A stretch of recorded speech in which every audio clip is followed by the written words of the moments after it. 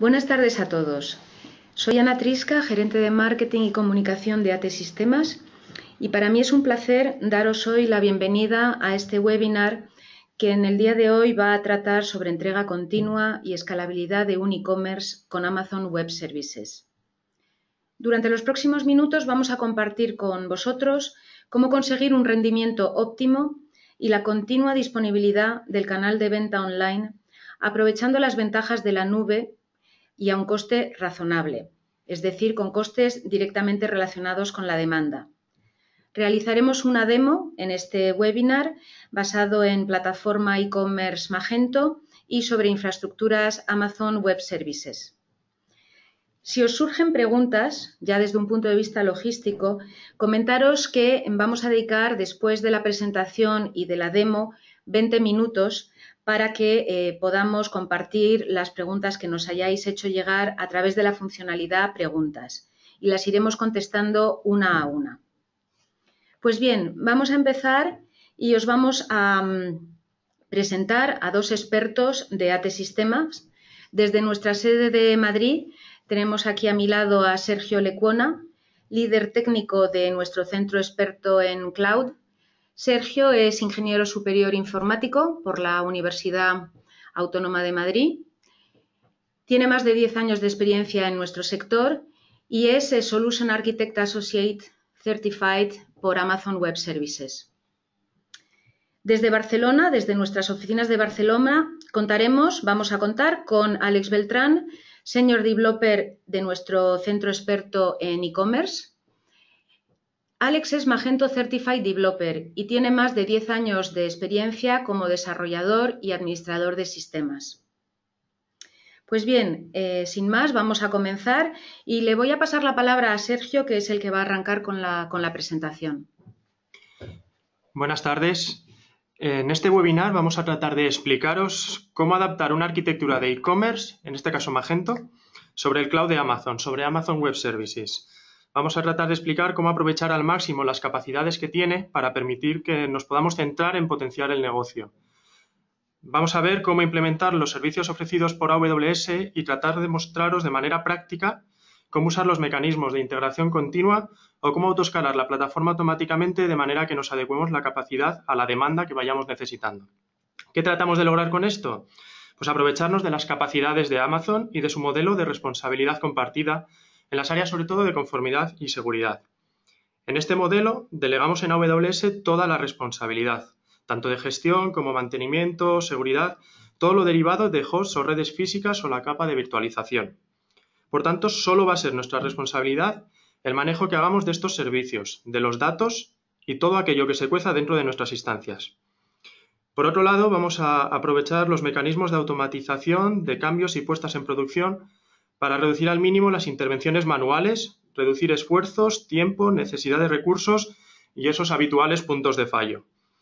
¿Cómo importante es esto? Pues es la clave para conseguir que ese 80% que veis en la gráfica y que antes dedicábamos a seguridad, a hardware, a sistema operativo, a las redes físicas, se convierta en un porcentaje mínimo y que el anterior 20% que antes dedicábamos a innovación se convierta en tiempo, recursos y esfuerzo que tenemos disponible para lo importante que realmente es optimizar, innovar el negocio y mejorar nuestro comercio electrónico. ¿Y qué ventajas ofrece la arquitectura que os estamos proponiendo en, en, Amazon Web Services? Pues por un lado nos va a permitir ser más ágiles. Los cambios de configuración se automatizan y se aplican sobre las intervenciones sin que tengamos casi actuaciones manuales. En segundo lugar, nuestra plataforma Está preparada para que se modifique fácilmente. Podemos añadir o quitar servicios y componentes que consideremos necesarios. Podemos añadir, si queremos, más elementos de cacheo, podemos eh, añadir elementos de seguridad, relays de correo, lo que, lo que creamos conveniente.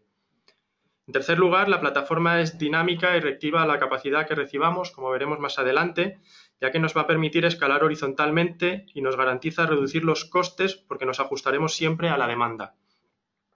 Y ya por último, el entorno es autónomo a la hora de detectar y corregir los problemas en las instancias de Magento. Si alguna de nuestras instancias de Magento llegara a fallar, se destruiría automáticamente y se reemplazaría por una nueva que empezaría a dar servicio. Y llegado a este punto, cedo la palabra a mi compañero Alex para que hable en concreto de Magento. Hola, buenas tardes. En esta diapositiva os voy a comentar las novedades que, tiene Magento, Magento Digital Commerce. Magento Digital Commerce es una versión totalmente nueva de Magento. Es una completa suite para el e-commerce, una solución omnicanal y que ofrece una mejor escalabilidad preparada para la nube. Permite usar sistemas de caché de forma sencilla y también se ofrece, la, posibilidad de segmentar la base de datos transaccionales y de catálogo. El back office está orientado al negocio. Es, está totalmente renovado, a diferencia de Magento 1, un panel totalmente renovado, amigable e intuitivo y una interfaz más accesible desde el móvil. Además, con, la incorporación del Bluefoot como gestor CMS, Magento Digital Commerce tiene la posibilidad de crear páginas de forma dinámica y sencilla arrastrando componentes con drag and drop. Aunque ahora está disponible como módulo aparte, Bluefoot vendrá integrado desde la versión 2.3. Durante el pasado año, la empresa Magento también compró la empresa RJ Metrics para pasar a ofrecer el servicio como Magento Business, Intelligence.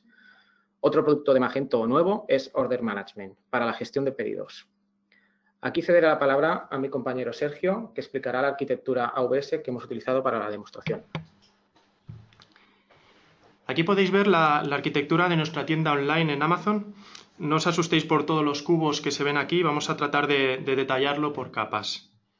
En la parte de abajo, si empezamos por donde veis a nuestro customer, al cliente, tenemos un cubo con un 53. Se trata del servicio de Amazon Route 53, el gestor de, dominios y DNS, donde podremos traducir los dominios públicos que utilizan nuestros clientes a los endpoints de los servicios de Amazon. Por detrás de él tenemos CloudFront, el servicio de CDN, la caché distribuida, y que nos servirá para servir al cliente tanto el contenido estático como el dinámico. Ese contenido estático se sirve desde el cubo azul que se ve a la izquierda y que pone Static Content. En verdad es un bucket de S3, el servicio de almacenamiento masivo de Amazon, que es un servicio que nos garantiza una disponibilidad de nuestros datos del 99,99% y una durabilidad de 99,999 hasta 11 nueves. Es decir, que casi nos garantiza al 100% que no vamos a perder información. Además, el, coste es muy bajo y no hace falta que aprovisionemos capacidad. Simplemente vamos pagando y ocupando según necesitemos. A su derecha, con un dibujito azul, está el Elastic Load Balancer, el balanceador de carga, que sirve para distribuir tráfico sobre nuestras instancias y descubrirlas automáticamente. Digo descubrirlas porque por debajo, sobre la flecha amarilla, están precisamente esas instancias donde está instalado el Magento y es un grupo de autoescalado que creará y destruirá instancias de manera automática según nos vayamos adaptando a la demanda. Por debajo, los cubos con la M y la S es nuestra base de datos como servicio de Amazon, el RDS, y está en una configuración de multi-AZ. ¿Qué quiere decir esto? Las zonas de disponibilidad de Amazon son realmente datacenters independientes dentro de las regiones. Están alejados geográficamente entre ellos.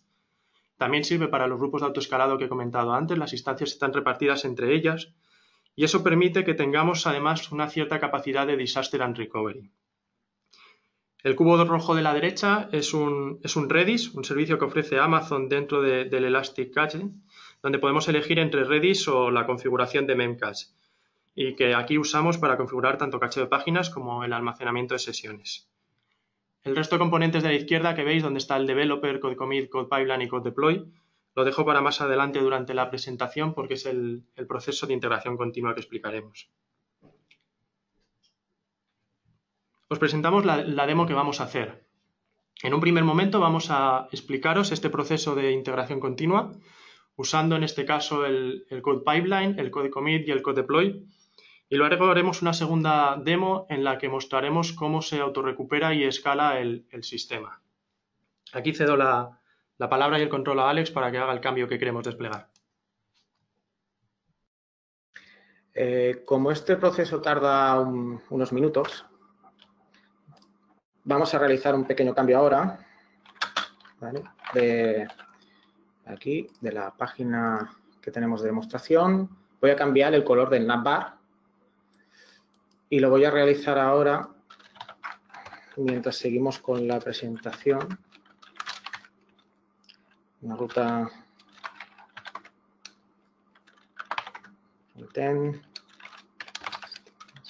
es una plantilla que tenemos que hemos hecho medida. tenemos el demo CSS, y vamos a ponerla de color rojo. Guardamos y ahora volvemos a la raíz. Voy a hacerlo directamente. Vale, y aquí, en este caso, como solo tenemos esto, no pasa nada. Pondremos un comentario, ponemos webinar, webinar aunque ya tenemos muchos, muchos commits similares. Y ahora copio los credenciales. En este caso se podría usar directamente SSH, habiendo almacenado las credenciales y la, y la clave, pero lo voy a hacer con credenciales. Vale, vamos a verificar que realmente es así.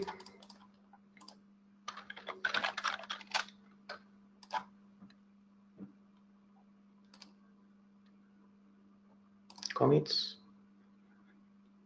Vale, demo webinar. Perfecto, pues ahora ya tendríamos, habríamos empezado el proceso de despliegue. Eh, te cedo la palabra, Sergio, para que continúes. Vale, este es el, mecanismo que vamos a probar. El, Code Pipeline, que lo veis en medio con un, en un cubo negro, es un servicio de Amazon que permite orquestar los despliegues, los distintos pasos. Vamos definiendo estos pasos en los que se van a ver involucrados el resto de servicios, que en este caso aquí tenemos el code commit en azul y el code deploy en, gris. El code commit eh, no es más que el repositorio de, código de, Amazon Web Services. El desarrollador en cuestión sería capaz de, hacer commit de su código directamente contra este repositorio como haría con repositorios tradicionales. A partir de ahí, el pipeline va a detectar esta nueva versión que ha desplegado Alex y va a dar comienzo al proceso de despliegue ejecutando su segundo paso, en este caso el code deploy. Este servicio coge el código y utiliza un fichero de configuración llamado appspec en formato YAML, donde le definimos la estructura de la aplicación y una serie de pasos a ejecutar, los hooks, donde somos capaces de definir las acciones o scripts que queremos ejecutar durante nuestro despliegue. Estas acciones y el código las ejecuta sobre el código de, sobre el grupo de autoescalado que tenemos detrás o sobre aquellas instancias a las que pongamos el tag que nosotros definamos para desplegar si queremos sobre instancias fuera del autoescalado. Le paso a Alex y vemos cómo se va ejecutando este proceso. Aquí vemos una imagen del, del code pipeline, cómo está ejecutando el proceso de empaquetamiento, de empaquetamiento del código para poderlo después eh, procesar con CodeDeploy. Ahora vamos a revisar el código, que es, el, que es lo que vamos a empaquetar. Eh, Code Pipeline lo que hace también es empaquetar el archivo como zip o como un tar y lo copia en S3. Incluso podríamos llegar a descargarlo. Aquí tenemos nuestro commit para verificar que todo está bien.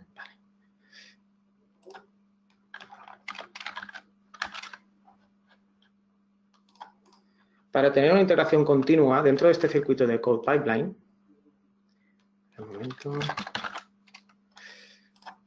podríamos incluir code, build, que en este caso podríamos eh, realizar las pruebas de, calidad y realizar un compilado del código para comprobar que todo, que todo está correcto y luego pasarlo a code deploy.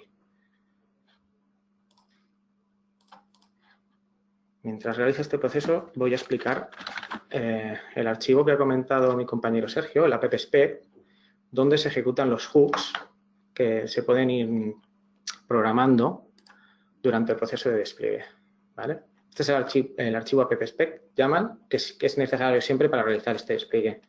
En este caso le hemos dicho las carpetas que queremos eh, copiar al directorio del servidor web y los permisos que va a tener cada, cada carpeta es necesario para que no tengamos problemas luego al generar archivos o al navegar por el sitio web. Y aquí, al hacer el after install, ejecutaremos los procesos necesarios para que se despliegue correctamente Magento. Iremos a revisar el código, eh, scripts y permissions. Aquí tenemos los comandos que se usan en Magento para realizar eh, el deploy del, del contenido estático compilar eh, Magento en el caso de que sea necesario y hacer un flush de la caché para que se vuelva a, generar toda completamente. Vamos a ver pipeline.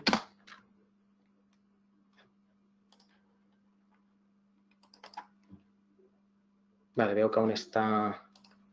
En, nuestra instancia EC2 hemos, hemos usado el Amazon Linux de, que, viene, que tiene como en los repositorios.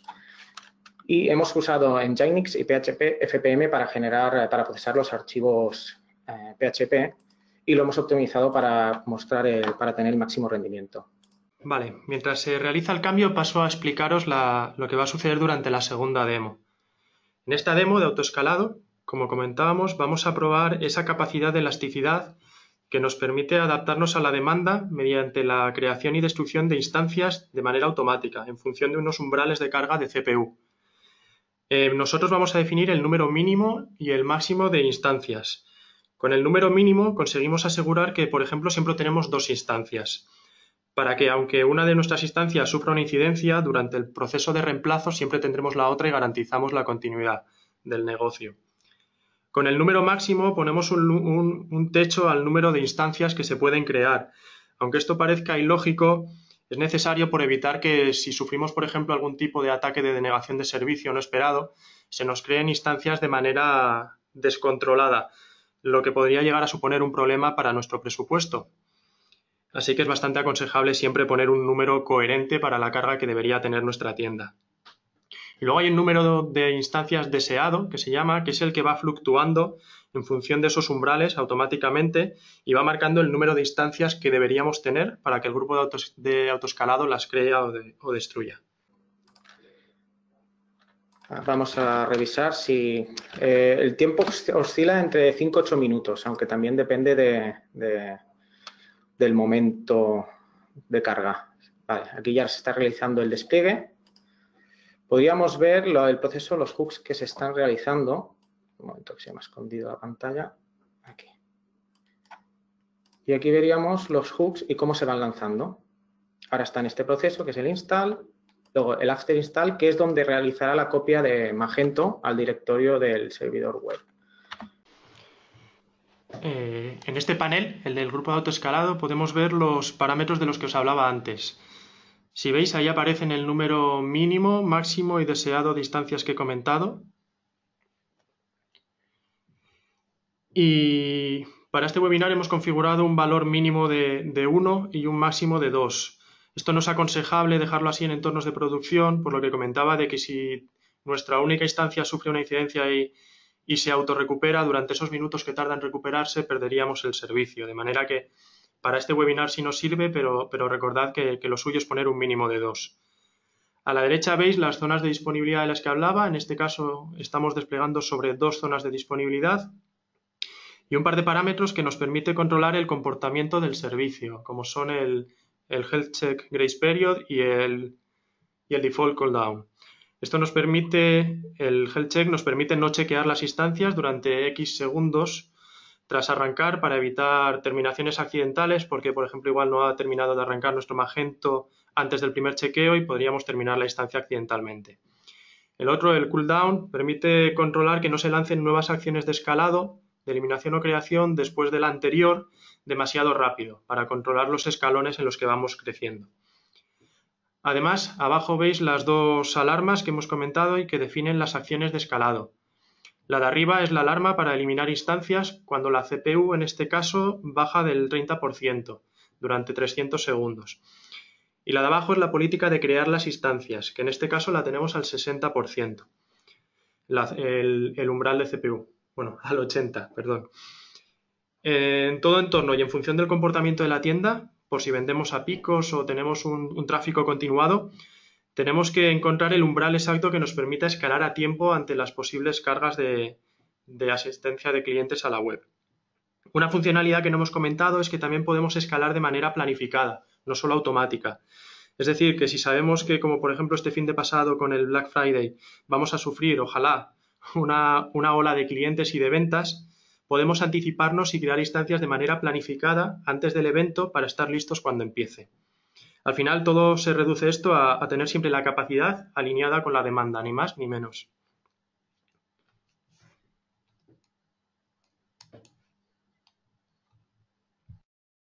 Vamos a ver si ahora sí, sí, ahora sí que he terminado. Vamos a hacer una validación de los archivos estáticos. Eh, Vamos a hacer una invalidación de los archivos estáticos para ver el cambio del navbar. Esto se podría programar directamente desde el app spec con el script, con la, línea de comandos de Amazon que se puede instalar en, en Linux, que la versión Linux OS ya viene instalado de forma que fuera automático. En este caso lo hacemos manual pues para, mostrar el proceso. Pasamos a las preguntas mientras vamos viendo el cambio, que lo dejaré en pantalla. ¿Se puede hacer algún otro repositorio que no sea code commit? Eh, sí, se puede usar cualquier tipo de, bueno, eh, aunque realmente se está usando code commit porque la demostración es Amazon, se podría usar con CodeBuild cualquier, eh, por ejemplo, S3, GitHub o recientemente Bitbucket. Sin problema, no habría ningún problema para usar otros terceros. De acuerdo. Eh, más preguntas de orden técnico. Si el código necesita compilación, ¿qué hacemos? mediante CodeBuild podríamos garantizar procesos de compilación tanto Java como Python, Node o integración y se podría llegar a integrar con el, con el código, con el circuito de, de pipeline. Más preguntas, tenemos unas cuantas más. ¿Qué otras condiciones de escalado se pueden establecer? ¿Te la paso a ti? Eh, sí, esto es para mí. aquí hemos visto el escalado según la, métrica de uso de CPU. También se podría utilizar si tenemos colas de mensajes SQS por la, por la longitud de las colas podríamos usar, como hemos dicho, el, además del escalado automático, el escalado planificado o escalado por pasos en las que según vamos aumentando la, capacidad del autoescalado podemos ir modificando esos umbrales para adecuarnos a, las capacidades que estamos teniendo. En principio serían esas las, las opciones de autoescalado. Vale, tenemos otra, otra pregunta eh, que está un poco relacionada con la que teníamos anteriormente. ¿Podemos integrar algún tipo de test funcional durante las pruebas? Alex, Sergio, me la contesta? Si quieres yo. Mm, podría contestarla yo mismo.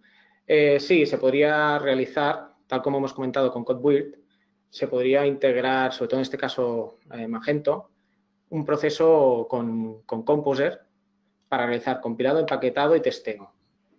Podemos añadir pruebas funcionales de integración, de, test de calidad, etc.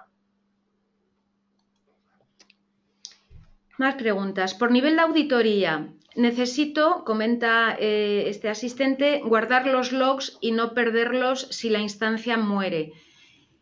¿Cómo lo puedo hacer?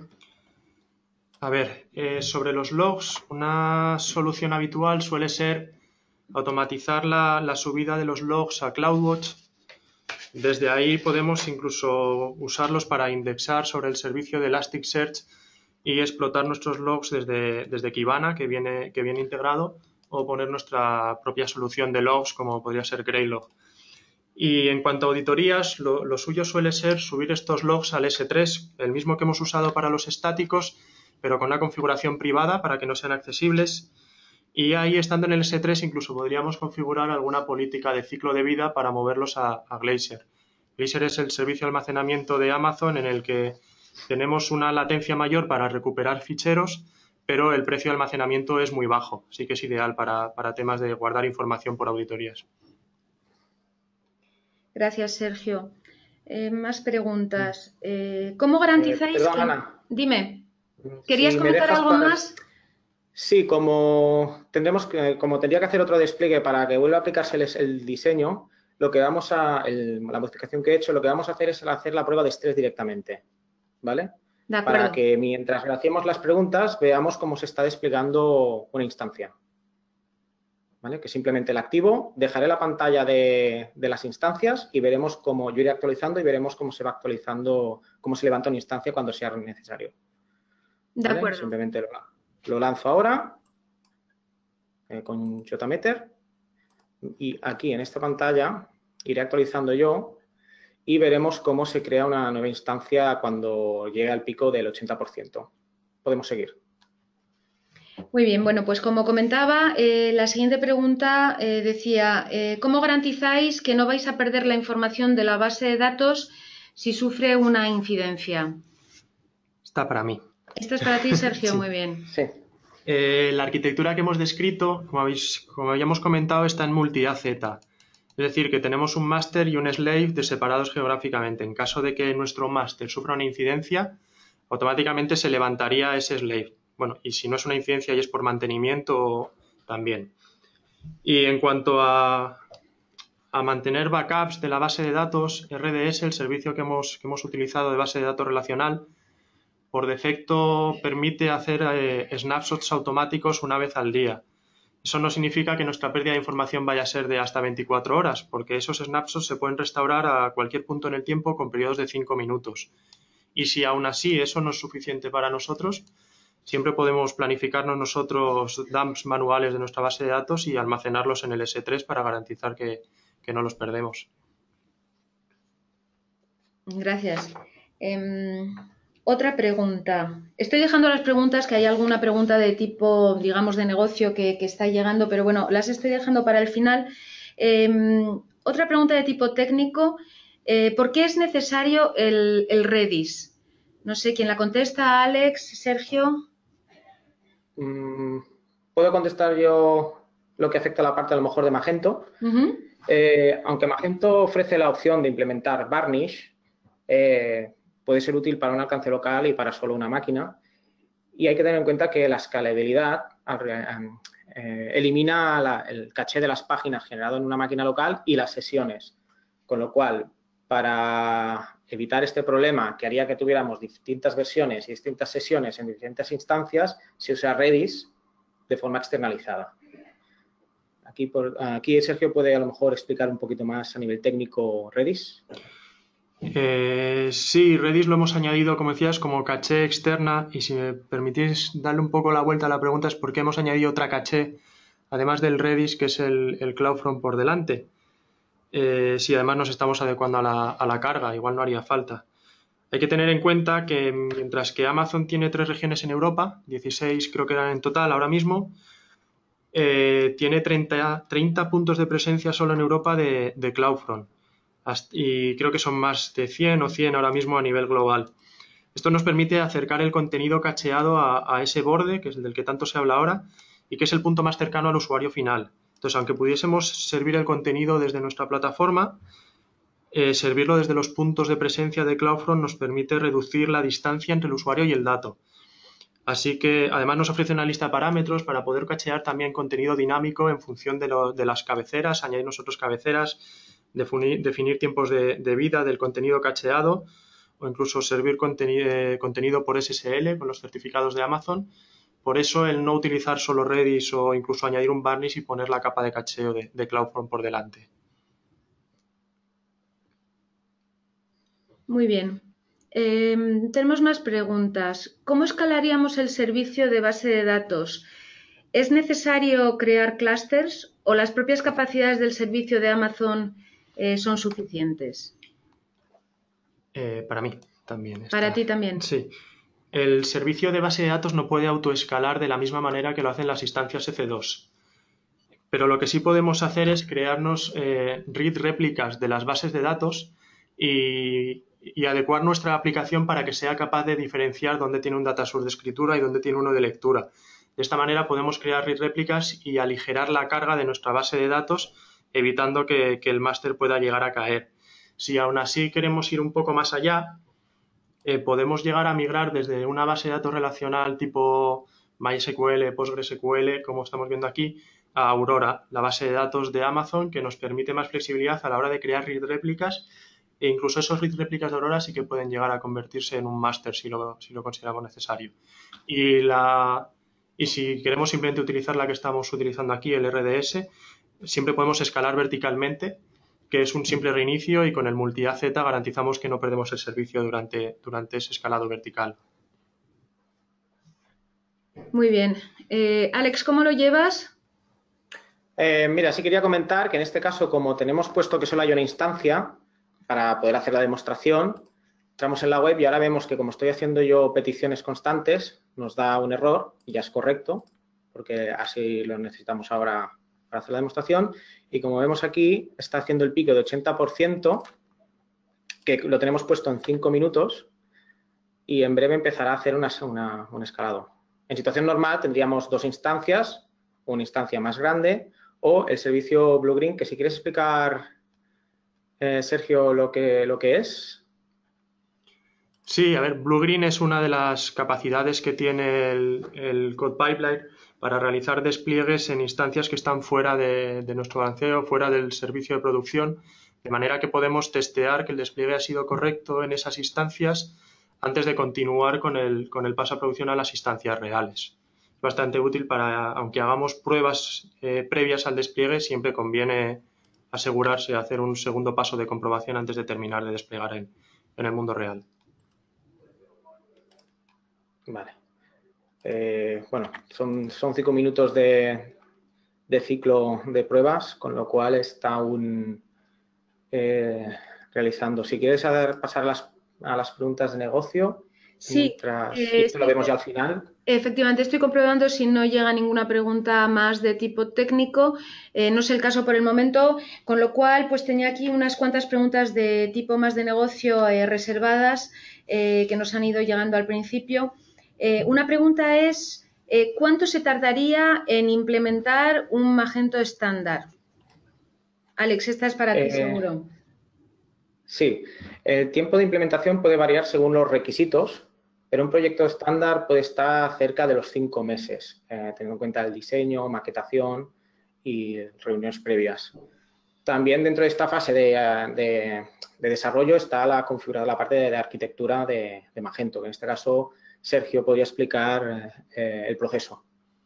Sí, nosotros en entornos similares podemos llegar a, venimos tardando igual entre dos, tres, cuatro semanas en implantar la infraestructura, teniendo en cuenta que no solo vamos a levantar servicios, sino que habitualmente hablamos de, pruebas para encontrar estos casos de, autoescalado y los umbrales para que sea más rápido que lo que estamos viendo ahora en la demo. También hacemos pruebas para ver hasta dónde debería escalar, aplantillamos el entorno usando herramientas de infraestructura como el código, como CloudFormation, Terraform, es decir, que, nos vamos a esas semanas que he indicado, pero porque no solo estamos haciendo cuatro clics para levantar servicios. Bien, una pregunta relativa a costes. Eh, ¿Qué coste podría suponer un entorno como, este, como el que estamos viendo, eh, en Amazon Web Services? A ver, está la, es verdad que la traía preparada porque siempre, siempre lo preguntan. es un, punto crítico el tema de los costes. He mirado como referencia a un, cliente que tiene un entorno similar a este que estamos mostrando y el coste mensual se le iba a unos 500 dólares mensuales, 600 porque contrataba el soporte business de, AWS. Pero me gustaría decir que esto no hay que tomarlo como un dato exacto, sino como una referencia. Porque lo que tenemos que tener claro, y hemos tratado de explicar durante, durante el webinar, es que en Amazon siempre pagamos con el modelo, con la filosofía del pago por uso. Más los costes son dinámicos, como os he explicado, y en función de qué dimensionamiento tengamos en cada momento, vamos a pagar más o menos. De todas formas, Amazon permite que reduzcamos estos costes a través de algunos mecanismos. Uno es la reserva de instancias. Si tenemos claro qué instancias necesitamos, qué familia de instancias necesitamos, eh, Amazon nos permite hacer un pago por adelantado, ya sea en las EC2 o, o en el RDS, y reservarlas a uno o tres años. De esta manera vamos a reducir los, los costes considerablemente. En el ejemplo que os he dado, por ejemplo, de este cliente, reservó un año las instancias y bajó de esos 600 dólares que os comentaba a unos 400. Hizo una reducción del más o menos el 35% al mes. Una estrategia habitual que suelen hacer los clientes es, es, reservar las instancias mínimas que queremos en nuestro grupo de autoescalado, porque sabemos que esas siempre vamos a querer tenerlas arrancadas. Y no reservar más allá y utilizar instancias on demand para, las que se creen durante los autoescalados si crece la demanda. Hay otro mecanismo para, reducir costes que es usar, por ejemplo, el uso de spot instances, las instancias de subasta, que son instancias que se crean cuando su coste baja de un umbral que define un, mercado de subastas que tiene Amazon. Sí que es verdad que las reducciones pueden ser de hasta el 70-90% en el precio, pero como nunca sabemos cuándo vamos a poder disponer de esas instancias, acaban estando orientadas más al, al procesamiento de imágenes, cálculos de Big Data y, cosas así. una pregunta eh, que especifica algo más sobre los costes y que dice si los costes mm, están, en estos costes están incluidos los de monitorización de Amazon. En los que hemos ido contando, no. En la monitorización de, Amazon eh, suele funcionar por el, si usamos de monitorización detallada o no en CloudWatch, que suele ser tener métricas en 5 minutos, un minuto, y el número de, veces que subimos logs o que hacemos peticiones a, CloudWatch para representar las métricas. No está, no está incluido, pero sí que es verdad que estamos hablando de, pocos dólares en un entorno, eh, creo que en un entorno de no mucha carga, pero, pero normal, creo que andábamos por 5 o 10 dólares al mes eh, de, monitorización. Vale. Em, otra pregunta eh, sobre mm, precios y costes. Por confirmar, comenta este asistente, si tengo por repositorio GitHub de Amazon Web Services, solo tendría que emplear Code Pipeline y Code Deploy, ¿cierto? Según su experiencia, ¿cuál suele ser la media del precio por uso de estos servicios? Eh, en cuanto al coste, realmente solemos, en las cotizaciones solemos, solemos despreciar la, el número de peticiones que se hacen para despliegues, lo único que consideramos es el almacenamiento del código si usamos Code Commit. No sé si lo pagamos y hay aplicaciones que, sí que, pueden ocupar, pero no es un coste, considerando lo que luego cuesta la infraestructura por debajo, no es un coste realmente importante. Y respecto a usar el pipeline si usas GitHub, eh, sí, podrías añadir el, como hemos dicho, el code build si es, si es un código que tiene que estar compilado o si quieres hacer algún tipo de testeo pero eh, CodeWheel directamente permite como, input de código GitHub desde la, desde la configuración. Otra pregunta, em, ¿en qué clientes habéis implantado eh, plataforma e-commerce en, Amazon Web Services? Bueno, no sé si podemos dar el nombre de esos clientes en todos los casos, pero eh, Sergio, coméntanos un poco eh, qué casos de éxito tenemos entonces. A ver, sí que es verdad, tenemos por ejemplo un caso de, éxito muy importante en el sector del retail, de la moda, pero aquí lo siento mucho por temas de confidencialidad, no puedo dar el, nombre del cliente. Eh, también hay un cliente del que por desgracia tampoco puedo dar el, nombre, pero en el sector de la venta de cupones.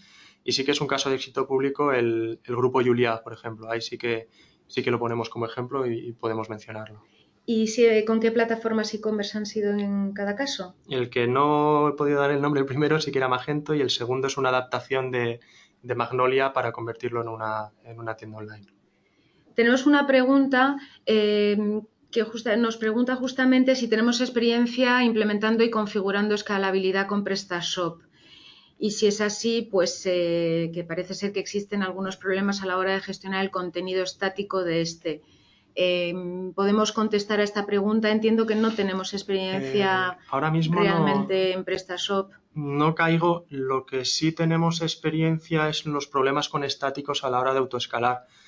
Eh, no sé qué problemas habrán encontrado exactamente, tendría que consultar sobre el caso concreto de PrestaShop, pero sí que, por ejemplo, cuando hay, hay problemas con estáticos, hemos utilizado el Elastic File System, que es el NFS de Amazon, para alojar los estáticos de manera compartida entre todos los nodos. Así, aunque durante el arranque de las instancias en autoescalado, en los scripts de arranque hacemos que se monte ese FS, que al final es un, NFS pero de Amazon, y alojamos ahí todos los estáticos. Lo que sí hay que tener en cuenta que ese FS tiene una durabilidad muy alta, un SLA muy alto, pero, es, pero si cometemos un error manual eh, no tenemos backup. O sea que ahora mismo, creo que la semana pasada Amazon sacó el file sync que permite sincronizar ese FS con otro FS y podríamos automatizar los, los backups de nuestros estáticos también. Quizá habría que ver si es aplicable a PrestaShop, pero sí que hemos aplicado esta solución. De acuerdo. Eh, como puntualización a nivel de PrestaShop, que yo sí que he tenido experiencia en desarrollo en PrestaShop, también habría que ver eh, la capacidad o el número de, peticiones que estemos teniendo en ese PrestaShop. Porque a lo mejor eh, hay que hacer una previsión de, que a lo mejor no, se nos supera la capacidad del propio PrestaShop. Tiene este, en este caso entraríamos a lo mejor que habría que valorar la migración a un Magento, por ejemplo por el tema de, peticiones. Eh, no tengo los límites, sí que es verdad que yo me he encontrado en algunos casos problemas y, lo hemos solventado sobre todo externalizando estáticos fuera de la instancia. Más allá de eso tampoco podría dar mucho más detalle, pero sí que tendríamos que ver que nuestro e-commerce no esté saturado porque estemos, estemos teniendo muchas visitas, muchos pedidos, muchos artículos, etc. Eh, si quieres, tomo la palabra porque ya he terminado de hacer el escalado Perfecto. Eh, además, no parece que por el momento haya más eh, preguntas, con lo cual, estupendo. Veamos la demo. Vale. Pues aquí vemos que nos ha creado una instancia más, que he parado ya la rampa de, visitas para, que no siga escalando. Y vamos a ver nuestro e-commerce. Bueno, pasado los cinco minutos de que no haya peticiones, se, eliminará automáticamente esta instancia. ¿vale? Y aquí lo tenemos otra vez funcionando. Habéis visto que ha dado un error porque no teníamos el e-commerce operativo y ahora volvemos a tenerlo ya online, que, como hemos dicho, ya teniendo en cuenta una, cómo, cómo plantearemos todo esto, no debería haber cortes. Y después de cinco minutos, esta previa instancia será destruido automáticamente para ahorrar costes. Aquí vemos que ya está bajando el, consumo. Y con esto ya, ya habíamos visto la prueba de autoescalado. Bueno, pues tenemos una propuesta de valor en el ámbito de e-commerce bastante completa. Además de trabajar con tecnología Magento, como os hemos mostrado en esta demostración, eh, lo hacemos también con tecnología de Salesforce Commerce Cloud, con tecnología de IBM, eh, WebSphere Commerce y con la de Oracle, eh, Oracle Commerce.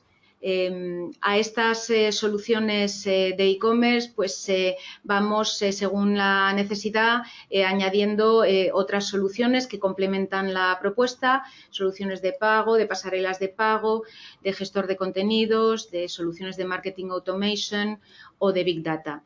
Tenemos también un centro experto eh, en el ámbito de UX para toda la problemática de experiencia de usuario y también un centro experto en el área de desarrollo de aplicaciones móviles.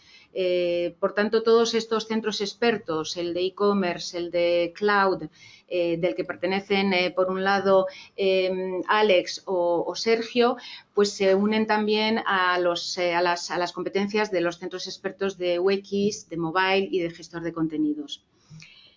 Bien, pues eh, terminamos este webinar y simplemente comentaros que ha sido grabado, con lo cual dentro de unos días lo subiremos a nuestro canal eh, YouTube de AT Sistemas si tienen cualquier pregunta adicional, eh, pues mm, simplemente envíenos eh, la pregunta al correo genérico de, marketing